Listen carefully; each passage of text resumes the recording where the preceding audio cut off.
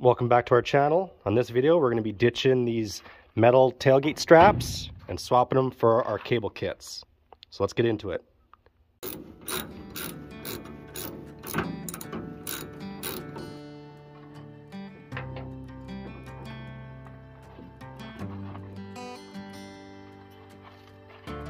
On the back side of this tailgate strap, you're going to remove this factory rivet and then you can remove the metal bar.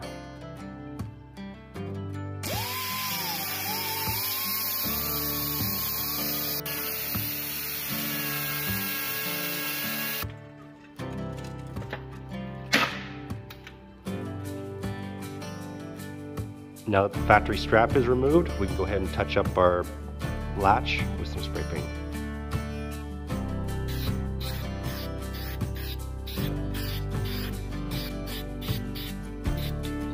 Now that the paint's dry, we can go ahead and mount our cables using the provided hardware.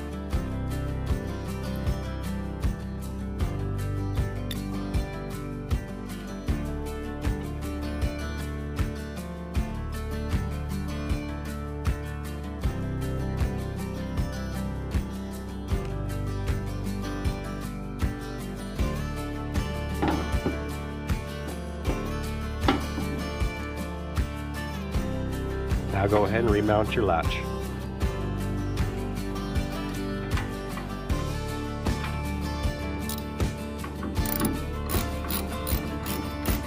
Latch back on, we can go ahead and place our cables on the tailgate.